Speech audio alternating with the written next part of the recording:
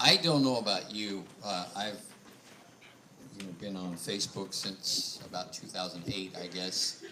And um, the reason that I stay on Facebook is because so many of you are on Facebook, and it's an easy way to keep up with you guys.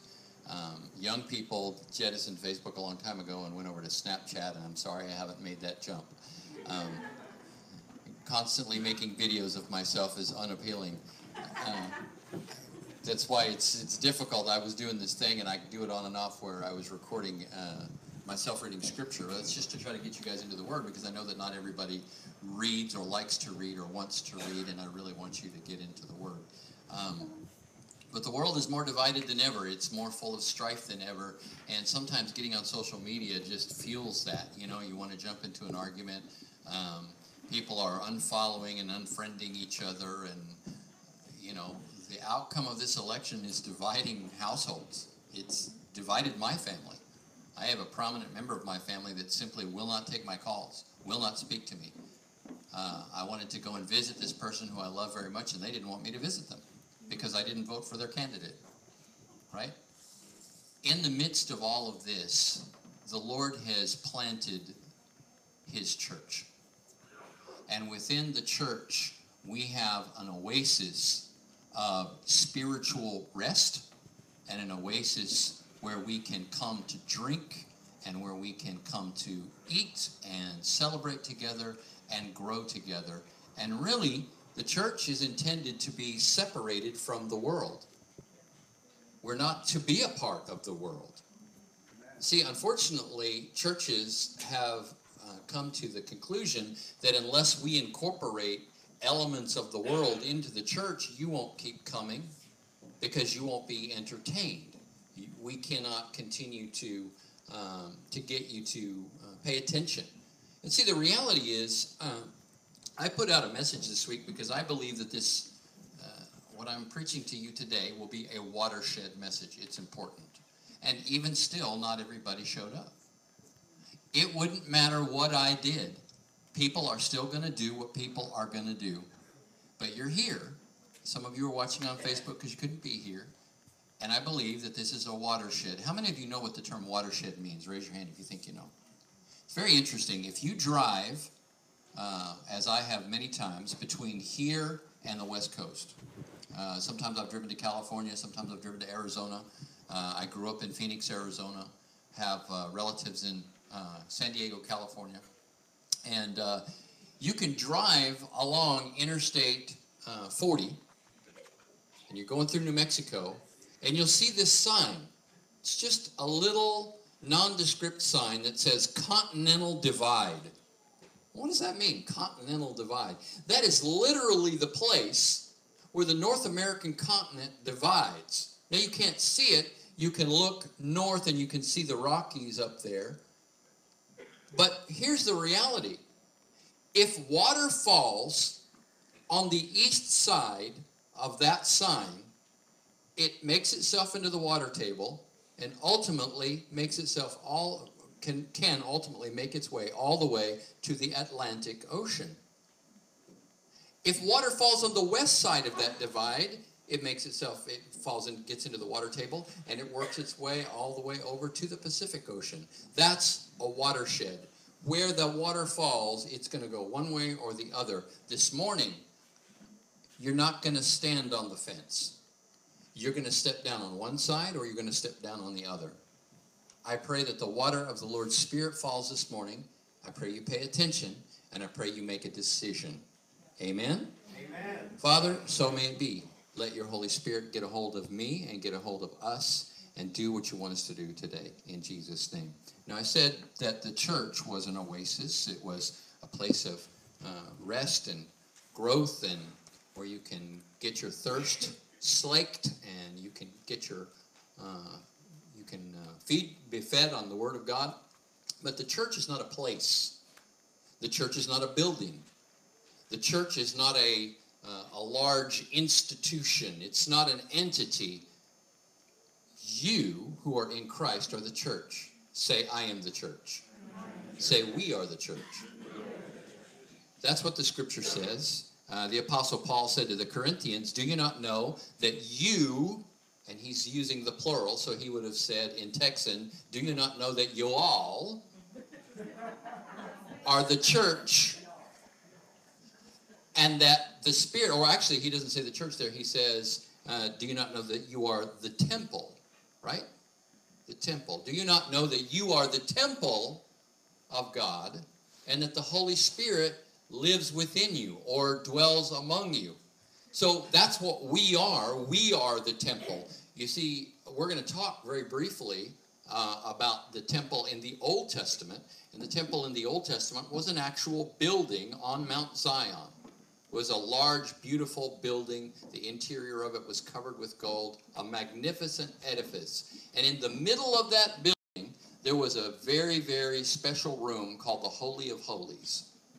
And God's presence focused he focused his presence and his attention there in that Holy of Holies. But when Jesus died on the cross, there was a curtain that separated the Holy of Holies from the rest of the temple, and that curtain was torn in two from top to bottom. You see, he opened up the Holy of Holies. He opened that out into the holy place so that those of you who will choose to come to Christ can be the Holy of Holies for the Spirit of God. God's Spirit can literally live inside of you as God focused his attention on that holy, most holy place, uh, on this, uh, this uh, piece of furniture, if you will, called the Ark of the Covenant. I won't get into a description of that right now, but it contained the law. And on top of the Ark of the Covenant was a lid that was called the mercy seat, and that's where God focused his attention in his presence. But now, if you call on the name of Jesus Christ to be your Lord, he enters your Holy of Holies, the center of your life, the center of your being, we would say your heart. And he gives you a new birth, and he lives in you. And so, as a result, when we gather together, although this building is not the church, it is right now because we're gathered here in his name. Amen? Amen? So, right now, we are the church, and right now, this is the temple of the Lord. So, today, what I want to talk to you about is building the Lord's temple or building the Lord's house. Um, I want to take a look at um, Haggai. Now, this is a prophet that maybe you have never heard the name of before. How many of you have heard the name of the prophet Haggai before?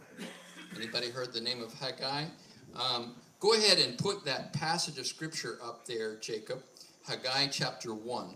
And I'm going to be reading from the New Living Translation because it should be easy for you to just listen to and apprehend. So listen along or read along, and let's uh, take a look at this passage from Haggai chapter 1. On August 29th of the second year of King Darius' reign, the Lord gave a message through the prophet Haggai to Zerubbabel, son of Shealtiel, governor of Judah, and to Jeshua, son of Jehozadak, the high priest. This is what the Lord of Heaven's armies says. Now, you're going to hear that term used over and over the Lord of Heaven's armies. Older translations will translate that the Lord of hosts, right? Uh, even some translations will say the Lord of the Sabaoth. And it's a term that refers to God's almighty power. This is the almighty God, all right? This is what the Lord of Heaven's army says. The people are saying, the time has not yet come to rebel to rebuild the house of the Lord. Then the Lord sent his message through the prophet Haggai. Why are you living in luxurious houses while my house lies in ruins? This is what the Lord of heaven's army says. Look at what is happening to you. You have planted much, but you harvest little. You eat, but are not satisfied. You drink, but are still thirsty. You put on clothes, but cannot keep warm. Your wages disappear as though you were putting them in pockets filled with holes. This is what the Lord of Heaven's army says. Look at what's happening to you. Now go up into the hills, bring down timber, and rebuild my house. Then I will take pleasure in it and be honored, says the Lord. You hoped for rich harvests, but they were poor. And when you brought your harvest home, I blew it away. Why? because my house lies in ruins, says the Lord of heaven's armies, while all of you are busy building your own fine houses. It's because of you the heavens withhold their dew, and the earth produces no crops. I've called for a drought on your fields and hills, a drought to wither the grain and grapes and olive trees and all your other crops, a drought to starve you and your livestock and to ruin everything you have wor- that you worked so hard to get. Then Zerubbabel, son of Shealtiel, and Jeshua, son of Jehozadak, the high priest, and the whole remnant of God's people began to obey the message from the Lord their God when they heard the words of the prophet Haggai, whom the Lord their God sent, and the people feared the Lord. All right. Let's uh, do a little history lesson here so that you can understand what's going on. The people of Israel had been delivered from slavery in Egypt. They had gone into the land and they had built what God gave them. They inhabited cities in the land and they built their homes, but they promptly turned away from God and turned toward the false gods of Canaan. That's what the land was called before it was called Israel. It was called Canaan. They turned toward gods that today would be the equivalents of gods of sex and success. That's really the shorthand for what worship of Baal was worshiping sex and worshiping success. Does that sound like any people that you know of? That's what they worshiped. That was their highest value. Okay? Now, they literally bowed the knee to these things. We do this in a more sophisticated way, perhaps, worshiping sex and money, sex and prosperity, sex and success. So what God did is he sent them prophets, and the prophets said, you need to repent. You need to change your minds, and you need to change your hearts, and you need to change your actions. In fact, that's exactly what happened when Jesus first came to earth. You know what Jesus' first message was? Repent. That was his first message. You need to have a change of heart. You can't keep doing what everybody else is doing and expect that God is going to bless you. So, all the way back to Old Testament times, the Lord told the people to repent, but they didn't because they were more interested in pleasure and prosperity and self promotion than they were in worshiping the Lord. So, God sent other nations in to take over. The nation of Israel had split into north and south. There were 10 tribes in the north and two tribes in the south. And initially, God sent the Assyrians in in 722 BC, and they destroyed the capital of the north in Samaria and took the people captive, took them into uh, various other nations and settled them so that they would not be established, so that they would be out of their element, so that they would be powerless. And the Assyrians brought people in from those other nations to settle in what was once the northern tribes and the northern kingdom of Israel. Then in 586 BC, God sent the Babylonians in, and the Babylonians took control of Jerusalem and all of the southern kingdom. And the Babylonians destroyed the temple of God and took all of the implements and all of the furniture from the temple, all of the magnificent gold and silver, took that and brought those people to Babylon and brought that stuff and put it into their own treasuries. But see, God promised something different to the south. He told them that they would only be held captive there for 70 years, and then he would bring a remnant back. Well, 70 years passed, and another kingdom rose and uh, took over Babylon, and that kingdom was Persia. And the first king of Persia was Cyrus. And Cyrus made a proclamation telling the people that they could go back, wait, to rebuild the temple. You see, not everybody went back because they had settled in Babylon and they were actually doing quite well. Uh, the Lord had said, Hey, I want you to settle in there. I want you to build houses there. I want you to plant orchards there. Uh, you're going to prosper there in Babylon, even though it's a place of discipline. I want you to pray for the places that you're going, those cities that you're going to, and I'm going to be with you, right? I'm going to prosper you there. So, not everybody wanted to just go back to this ruin of Jerusalem. At that point, the walls in Jerusalem had been torn down, the temple had been torn down. It was a ruin. But there were people that really, really wanted to honor the Lord, and so they followed two men Zerubbabel, son of Shealtiel, and he was actually a descendant of David. Had the Persians not been in control, Zerubbabel would have been the king in Israel. And then Jeshua, son of Jehozadak, who became the high priest. He would have been the one who would have been in charge of the temple. So Zerubbabel was in charge of the city of Jerusalem. He was in charge of rebuilding the nation as they came back. And Jeshua, son of Jehozadak, was responsible for rebuilding the temple. So these people came back with explicit instructions from Cyrus to rebuild the temple. they returned to Jerusalem, and they the first thing that they did after they kind of got settled in a little bit is they rebuilt the altar of the Lord. There was a special way that you were supposed to build the Lord's altar. It had to be made of stones that no tool had ever been put to. You see, the Lord doesn't allow you to sacrifice on your own artifice. He doesn't allow you to offer him sacrifices that are of your own making. So he wanted his altar to be built of raw stones. So they had to build this altar the way he had indicated, the Lord had indicated he wanted it built. And they began to offer sacrifices as they had done prior to their captivity. Then they began to try to rebuild the temple. Now, understand, what the Babylonians had done is they had burned the temple. But the temple was made primarily of stone. But even a building that's made of stone has wood, right? It has a roof that has beams of wood. And this is before, you know, this is the Bronze Age, so they did have metal, but they didn't use metal uh, like uh, in roof beams and that sort of thing. They used wood.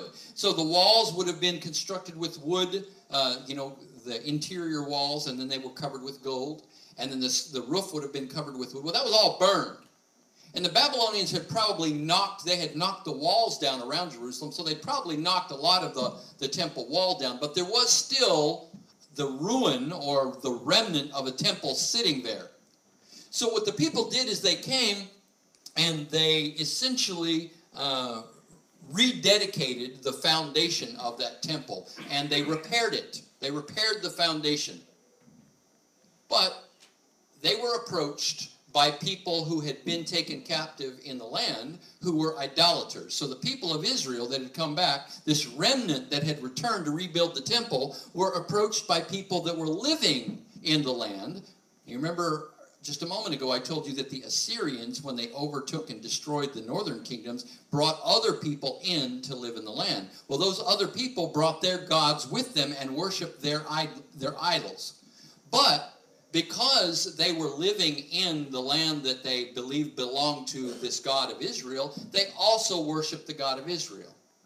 So, in other words, they were idolaters who sort of added the worship of God into their daily activities. Now, I hope you're thinking, because it might sound like I'm giving you a history lesson, but this all applies to us. There's a whole lot of people today that call themselves Christians, but they're worshiping much more than Jesus Christ in their lives. Because worship is what you put highest value on. So let's return to the story. Those people who were idolaters, who'd been living in the land since the 8th century BC, a couple hundred years at this point, came and they said, Hey, let us help you build the temple.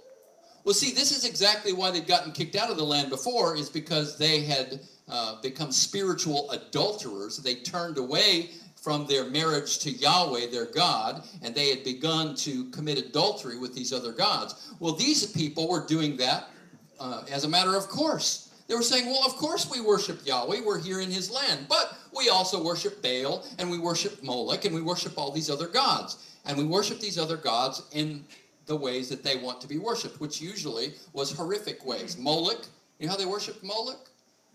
They offered their babies as human sacrifices to this god. Gosh, that's terrible. You can't imagine that a nation could be so barbaric. Are you thinking right now? And then they, all, they also worshipped um, Baal and Ashtoreth, which were essentially the gods of sex and success. This is what they worshiped. Well, the response of these, this remnant that had returned to rebuild the temple was no, you can't help us build. No because they were idolaters and everything that they touched was cursed because they were worshiping other gods other than Yahweh.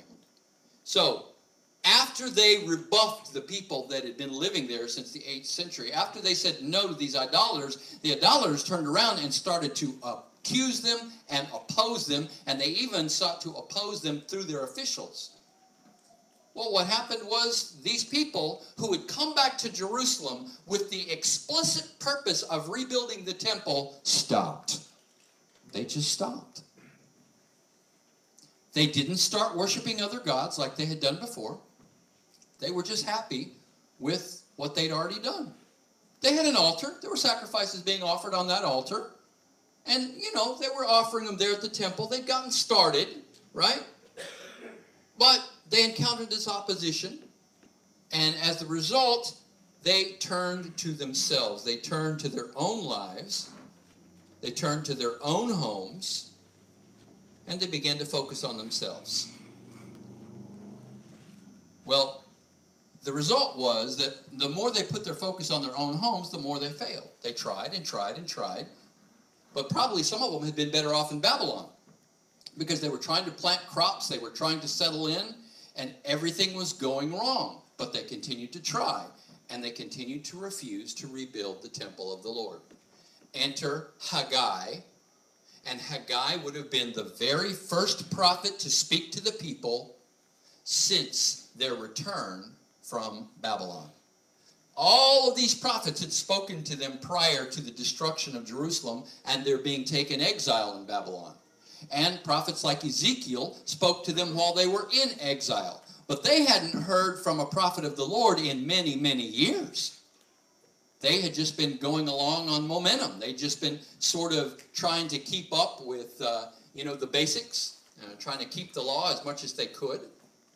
But now an official prophet, a prophet that they recognized as having heard from the Lord, came and spoke to them. And the book of Haggai, if you're looking at it in your own translation there, it's only two chapters. He doesn't have a lot to say. But what he said was very, very powerful. All right? First, Haggai speaks to Zerubbabel and Jeshua. First, he speaks to the two leaders. He speaks to Zerubbabel, who is uh, a descendant of King David, who's responsible for the civil culture and the civil society and rebuilding Jerusalem. And then he speaks to Jeshua, the son of Jehozadak, who was a, uh, a, um, a descendant, I believe, if I remember correctly, of Zadok, one of the priests. And he was high priest, and he speaks to those two people. And he says this These people, and he's referring to the remnant that is returned, these people say the time has yet not yet come to build the house of the Lord. Well, apparently, as I indicated, the people who had returned had taken opposition as a sign that it wasn't time. Well, it's just not the season for that. You know, we tried that. We tried that, but it didn't work. So we're just going to go back and do what we know. We're going to take care of our own lives. We're going to take care of our own homes. We're going to take care of our own families. And sure, we're not going to worship idols. We don't want the Lord mad at us. We don't want him taking us captive again, right? We're going to do what we're supposed to do. But we're just going to kind of punch our time clock. We're just going to do the in. They didn't have a lot of passion anymore. They were probably pretty defeated, actually. You see, there were, there were two things that were missing Number one, faith. Faith that in spite of opposition, the Lord had called them to do this work. And number two, honest to goodness love for the Lord. If they really loved the Lord, they wouldn't be giving their bare minimum. If you're with me, say amen. Because it might sound like I'm giving you a history lesson, but I'm really talking to you. No, I'm really talking to you. And maybe I'm not jumping up and down, and maybe I'm not just all that entertaining. But what I'm telling you is important. I believe that it's important. That's why I called this message urgent today. You're here, you're listening for a reason, okay? Then Haggai spoke to the remnant. So first he spoke to Zerubbabel and Jeshua, and he said, These people are saying it's not yet time. Then he spoke to the remnant. Is it time for you to live in nice houses while my house lies in ruins? Is it time for you to build your home while my house is in ruins? Well, as I said, they weren't bad people. They hadn't returned to idolatry yet. Although, see, here's what happens when you compromise. Here's what happens when your passion dies, right? Here's what happens when you don't really love the Lord so much anymore. Here's what happens when your faith starts to dissipate. You get tempted to go back to those old idols. We've already seen this happen in our midst. It may be happening with you right now. You see, you're either all in for the Lord or you're going to get sucked right back into the world. Later, under Nehemiah, when the people were, the temple had been rebuilt by then, under Nehemiah, the people were still in compromise and they actually began to marry idolatrous spouses. And the result was they began to do what got the people kicked out of the land early on, which was worship those false gods. Well, Nehemiah came unglued. I mean, read the end of Nehemiah. He gets crazy on these people. Like he's like pulling out their beards and screaming at them. He's like, no, you will not do this, right? Because they had begun to compromise. Well, I just want to offer you this thought. Compromise begins before it shows to anyone else. The compromise begins between your ears, man. The compromise begins really in your heart and with your loyalty. To whom or what are you loyal to? All right? So, this is what he says to them. This is what um, Haggai says to them. And then he continues speaking to the remnant Consider your ways. Go up to the hills and bring wood to build the house that I may take pleasure in it and that I may be glorified. See, that was the purpose. The purpose wasn't so the people could be glorified and say, wow, look at our amazing temple. We are a magnificent people of the look at the hard work. Look at what we've done. No. God says, I want you to build this temple so that I may take pleasure in it, so that I may be glorified. Now, remind me again today the temple is not a building. What is the temple? Yeah, say we are. We are. We are. So apply it. Holy Spirit, help them to apply it. Don't be thick. Don't have a, a, a stone heart. Let the Spirit of the Lord speak to you right now because I'm talking to you. This story is for you. I'm going to apply it more strongly in a moment, but I hope you're listening.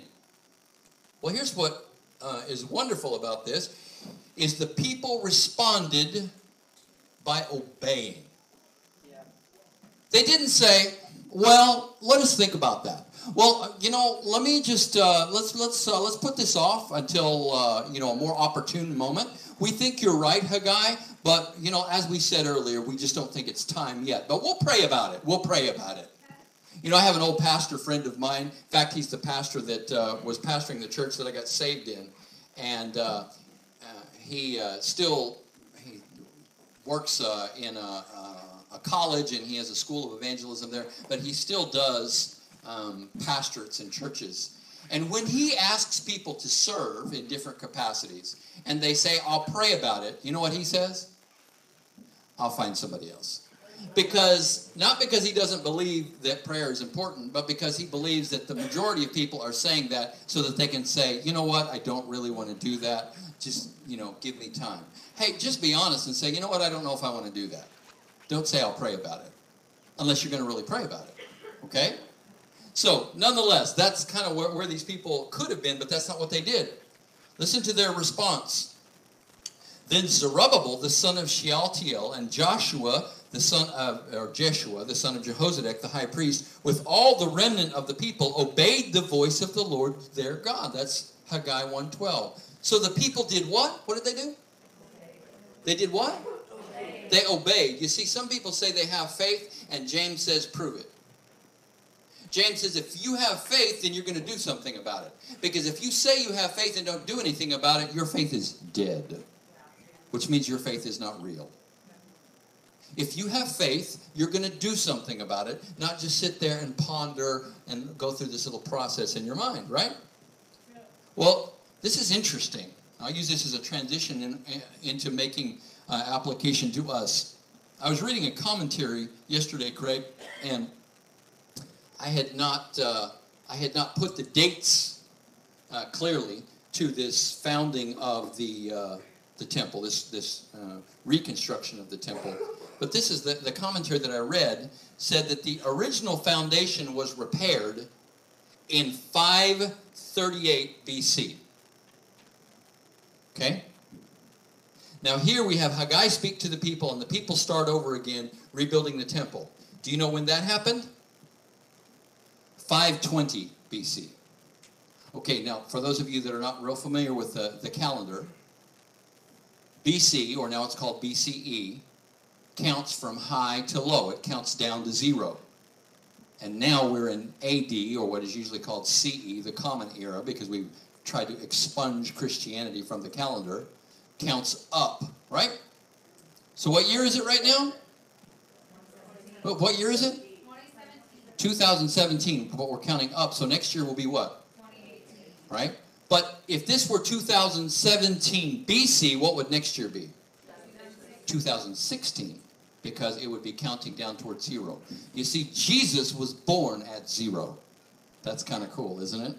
Jesus Christ literally split time. So, that's going to help you. I've got a couple of math people in the room. You shouldn't have to be a math person to do this. How many years have expired between 538 and 520? How old is this church? Are you listening? How many years expired between the first attempt to build or rebuild the temple and the time that they began to build again? How many years? Say it. How old is this church? Are you listening? If you're listening, say amen. Amen. This was just, Craig, this was just validation. It's just further validation. You see, this passage of scripture was one that the Lord laid on my heart back in 2000 or 2001. And I actually preached it to our people at the time, but they just weren't ready to receive that. Right? 17 years ago, man. Eight, you know, 16, 17 years ago. People just listen. I have tried to bring the promises of God to our people for years, but you have to believe or it doesn't happen for you. And because you are us, you're a part of uh, this group that we're calling the church, that we're calling LifeWell now. If you don't believe and you don't do anything about it, then we don't move, we don't grow, we don't change. So, my question is do you see our church in that story? Now, some of you haven't been going here that long. Some of you have been going for a long time. Do you see yourself in that story? Okay? Remember, you are the temple.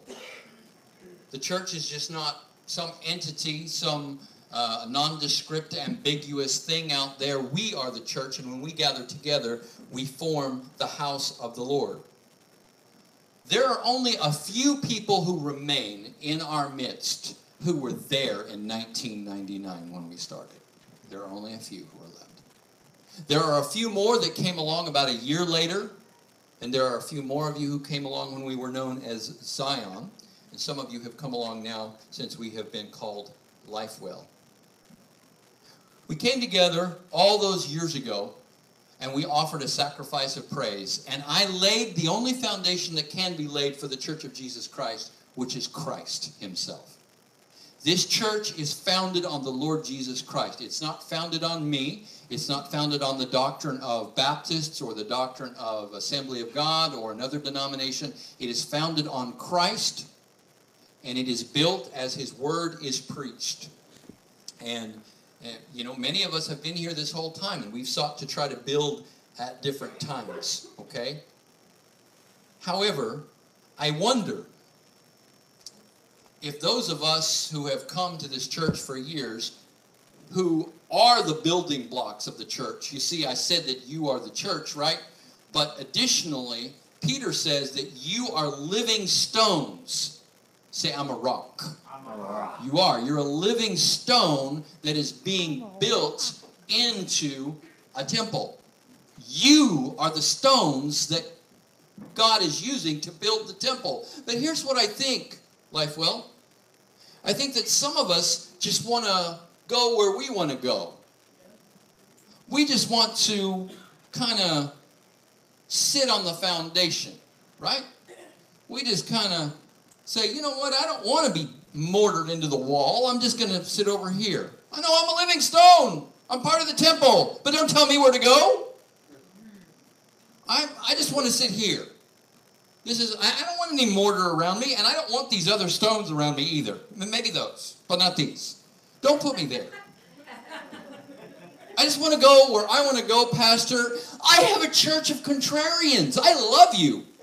And I told you, I went out to Saddleback. I went to Rick Warren's church, 20,000 people. This edifice is amazing. I'd rather be here with you. But that doesn't mean that I'm happy where we are. That doesn't mean that I'm happy staying where we are. Now, I'm going to say something to you, and if you don't get anything else, get this. This church will not be what it is today in one year, period. It's not one way or the other. We are not going to continue doing what we've been doing, or we'll continue getting what we've been getting. Why are we the church that will not grow? What I think is that we have stones that will not be placed where the Lord would place them. Well, I wonder if what happened to the people of Israel, or what was happening to the people of Israel when they refused to build the temple, is happening to some of us here. Look at what's happening to you. You have planted much, but you harvest little. You eat, but are not satisfied. You see, some of you are just not happy. You don't want to say that. You, you, you know, you're getting what you thought you wanted. You got the home, you got the family, you got the kids, but you know down deep you're just not satisfied and you don't understand why. Oh, you can call it a seven year itch, you can call it this or that or the other thing, but see, in the end, you're never going to be satisfied unless you're satisfied in Christ. You're not satisfied because you have lost your first love. I'm talking to you. You think I'm talking to somebody else? I'm not talking to somebody else, I'm talking to you. I don't have anybody's in mind. But I know this is a message for you. That's what uh, John said to the church at Ephesus in Revelation chapter 2. He said, I know you guys are, are, are uh, doctrinally right. I know you preach the word. I know that you don't accept false doctrine and false teaching. He said, But I have this against you. John said this to the church at Ephesus in the book of Revelation, chapter 2. I have this against you that you have left your first love. Who's your first love? Jesus. Say Jesus. Jesus. No, say it because you say God, that's amazing. I'm glad you believe in God, but God means so many things to so many people, doesn't it? But you speak the name of Jesus and there's power, isn't there?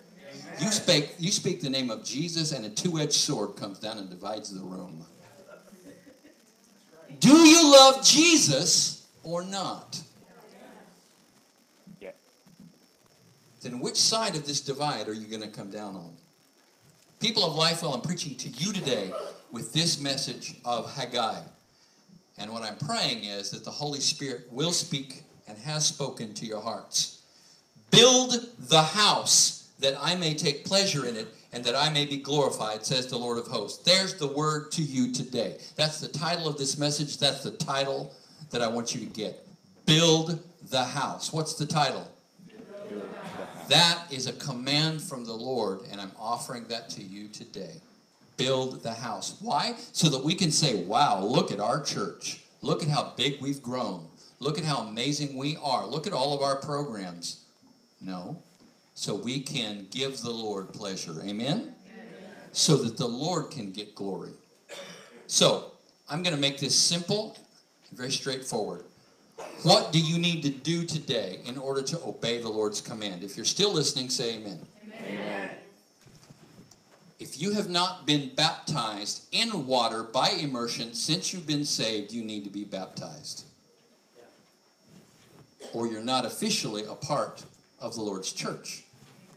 Doesn't mean you're not saved. Doesn't mean you're not going to heaven. Doesn't mean that you're not spiritually, you've been, not been brought over. But you need to follow the Lord's command in the Word of God. If you're sitting there today and you've not been baptized by immersion since you've been saved, I'm offering that to you. I'm not going to come up, grab you by the lapels, make you feel bad. I need you to hear from the Lord. Amen? Amen? Number two, if you are not a member of this church and you believe this is where God has called you, then you need to pursue that. And here it's going to be easy for you because I left a card on the back of every single seat in this room.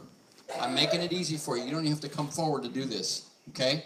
On the back of this card, it says take the next step, and it has two check boxes there. One says baptism, one says church membership. If you haven't been baptized, fill out the front and check whichever of those applies. If you haven't been baptized, you're also not a member of this church. And if you believe that you need to be baptized, and you do, because the Lord commands it, and if you want to be a member of this church, check both of those, and I will contact you. And by the way, several of you figured it out. I'm not texting, I'm not messengering, not Facebooking. I'm going to call you.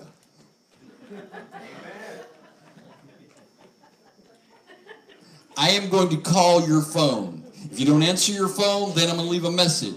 If you don't listen to messages, then I'm going to text. Then I'm going to send an email. Then I'm going to Facebook Messenger, and then I'm going to come and knock on your door.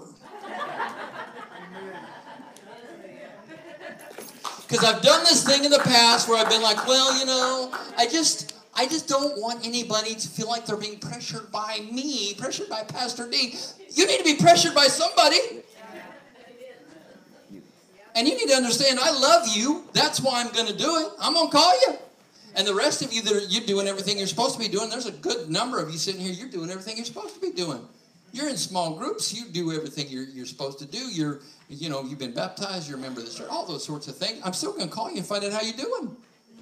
All right? I need to figure that out. A lot of you think I know what's going on. I, I think a lot of you don't understand Facebook. Just because you post it doesn't mean it automatically appears in everybody's timeline. If you want to see what they posted, go over to their page and then look at it, and I bet you don't do that. Okay? Um, all right, so that's number two. If you haven't been baptized, be baptized. If you're not a member of the church, then pursue that. Both of those, you can indicate interest on that card right now. If you're not a regular giver to the ministry of this church, start giving. Do it today. You say, well, the offering was already passed. There's an offering box right there in the back of the room. The principle in the scripture is the tithe. You say, well, I, uh, you know, I don't get paid today. Well, then you do this the next time you get paid. But if you can't tithe because you just don't believe that, well, the, the scripture says, the apostle Paul says, don't give reluctantly. Oh, gosh, I don't know. Or under compulsion, like pastors pushing you into it but give with a cheerful heart. So you give what you can give with a cheerful heart. So, as I've been saying all year long, if you're not ready to follow that biblical principle of the tithe, 10%, then back it up and give 5%. You say, well, I still don't know. Then do 3%. My goodness, do 1%, but be absolutely consistent and do it every single time you get paid. Amen? Amen? You're going to see the Lord's going to start blessing you. You see, some of us, things are coming apart and we don't know why they're coming apart. Well, see, there's a promise that goes along with tithing. Check it out in Malachi. He says, I will rebuke the devourer for you. There are just natural things that go wrong in this life. Okay? But what happens is when those natural things go wrong, sometimes the Lord interferes and keeps some of those things from going wrong. Sometimes He steps in and He gives you the ability to make uh, adjustments. Okay? I'll, t- I'll give you an example. Uh, I want to brag on Craig. Um, I uh, i have sold my Honda Pilot to the Wilsons because um, I stopped doing uh, rideshare, and uh, they decided that they are wanting to buy it. So I said, sure, they buy it. So they're buying it. What promptly happens? One of the windows in the back of the Honda Pilot stops working. Holy cow! This happened to me. You know how I fixed it? I paid Rusty Wallace Honda $450. Because I was like, if I take the door panel off, I'm going to break those clips. I'm never going to be able to get the door panel back on. I'm not sure how to do it. I don't know what parts it requires, yada, yada, yada, right? So that's how much it cost me. Craig said, eh, you know, he's not all worried about it. I'm feeling bad. I'm like, give, give the car back to me. Here, just, you know, take the money, give the car back to me. I feel horrible because one of the windows did it to me in the back and now this other one does it to them. It's cold outside. I'm feeling horrible about it. So Craig says, No, don't worry about it. I've looked at it on YouTube and I can do it. I'm like, YouTube? Okay. So order the thing. It's called a window regulator. So I order the window regulator. I do overnight shipping. Craig comes up to the, the mail drop and picks it up, goes home and promptly installs it himself, and then sends me a video of the window working. I'm like, oh, wow. That cost $62, not $450. I'm not saying nothing's ever going to go wrong. I'm saying the Lord's going to provide. Amen? Listen, where's your faith, man? See, if your faith is in your own finances, then you're going to say, Well, I just don't know how to make ends meet. You need to trust the Lord. You need to do what He said to do. You need to be obedient. That's what it amounts to. Things are getting blown away in your life, and your life is a rolling disaster because you're just disobedient. You're just living your life like the rest of the world. But you want God to come in and provide and help. And God says, you know what? You're not doing what I'm telling you to do. You're not expressing any faith. So, what am I going to do? I'm going to let you fail so that you will figure it out and express faith. Amen? Amen? So that's number three. If you haven't been baptized, be baptized. If you're not a member of this church, get to be a member of this church. If you're not tithing, start moving that direction. All right? Number four is you need to be in a small group. Uh oh. I got news for you. This has been what this church has been about since the beginning. I just haven't been pushing it because I've been saying it for so long, and people just, you know, some people do it, and some people just won't do it. You need to be a part of a small group. I've made it really easy for you. We're going to do this huge campaign for six weeks. And during that campaign, there is a specific focus that every small group is going to follow. And you have the ability to get in a small group today. On the back of your seat, once again, there is that card. Wherever I put the card, here it is. And on the back of the card, you will see there are groups. All you have to do is put a check next to one of those groups and turn this card in. Or go to our website, lifewellchurch.com, click the button that says Life Group, and fill that out and click Send. And then what I'm going to do is I'm going to give your email address and number and name to the person or the couple that, whichever it is, that is responsible that small group, and they're going to call you. Yes, call them. Don't just text them. You can text them your address, but I want you to call them. Hi, this is Ronnie and Cy. We are so glad you're coming to our house. All right? Don't assume. Welcome them into your group. Call them. Call them. All right? And then the last thing that is all in keeping with this idea of the whole small group thing, I want you guys to do this plan. I'm calling you. I don't know what else to do. I you know, I can't just hammer you. I can tell you that this is very important. I think it's so important that in fact the Lord thinks it's so important that a, an anonymous donor that doesn't even go to this church donated enough money for us to buy 30 of those books so that you can have one for free. You don't have an excuse. This is your excuse right here. You know what your excuse is? It's a four letter word. I'm going to use a four letter word in the pulpit right now. Are you ready? Are you ready? Can't. That's your four letter word. Can't. And can't just means won't. I'm telling you, this will change your life spiritually. Amen? So that's what I'm calling you to do. I'm going to ask the band to come back up. We're going to do one more song.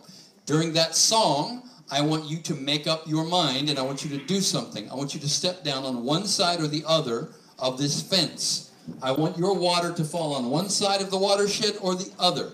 If you are not currently in a small group, I want you to sign up and do that right now. If you need prayer, Craig and I will be down here at the front. We'd be happy to pray with you. But see, I don't want a big emotional thing. I want a volitional thing. That means I want you to act with your will.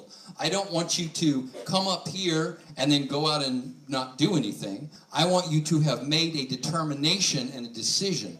Now, you don't have to come up here to make that decision. As I've said, I made it very easy for you.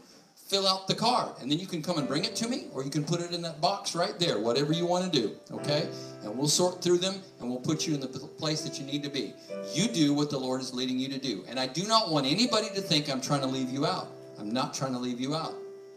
If there's some aspect of this message that you haven't agreed with, keep coming. Let the Lord keep speaking to you.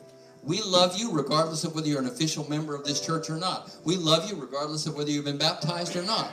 But I'm not going to stop pushing. Amen? Amen. I'm just going to keep pushing and I'm going to keep loving you. And I hope you keep coming until you figure it out. Amen? Amen. Let's sing one more song.